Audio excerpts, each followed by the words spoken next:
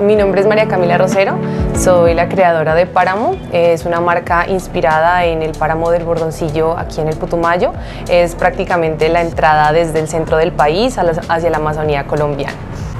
Soy beneficiaria de tiendas virtuales del programa Vende Digital de Mintic. Bueno, Páramo eh, nace a partir de qué es lo primero que vemos cuando llegamos a nuestro territorio. El territorio Tabanoc ha sido pues, un territorio ancestral y biodiverso que prácticamente nos ha metido a los que, a los que nacemos acá, nos ha traído muchísima creatividad. Al encontrarte, digamos, en otra parte del, país y no ver o, o, no poderte sentir dentro del territorio es algo, digamos que a muchos nos pasa. Y yo dije, bueno, a través de qué puedo traer mi territorio, o sea, a través de qué. Entonces, la manera en cómo podríamos identificarnos eh, en, esa comunidad, en otros lugares del mundo incluso, eh, era a través de la ropa, inspirarme obviamente en las técnicas ancestrales, como es el tejido en huanga, eh, la simbología, que la respeto mucho, pues Paramo eh, crea su propia simbología, no es simbología de alguna comunidad en específico, sino que nos inspiramos en eso para, para crearlo y pues también le debemos el respeto a ancestralidad. Entonces a partir como de, de eso eh, se empezaron a crear piezas que se pudieran usar todos los días, o sea que mm, sean muy cómodas, que sean muy versátiles, pero que sí hablen del territorio tengan ese toque de acá del valle, de Sibundoy.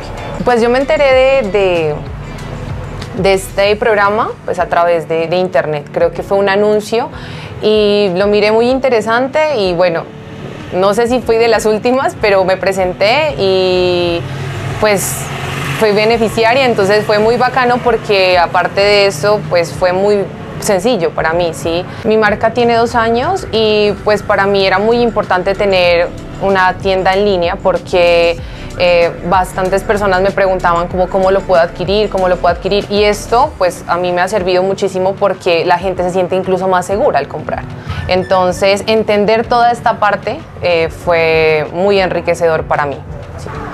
el acompañamiento fue muy bacano porque mm, mi asesor era un chico joven y nos entendíamos muy bien, o sea, como que eh, era muy fácil entender en el lenguaje que él me lo explicaba, era muy sencillo.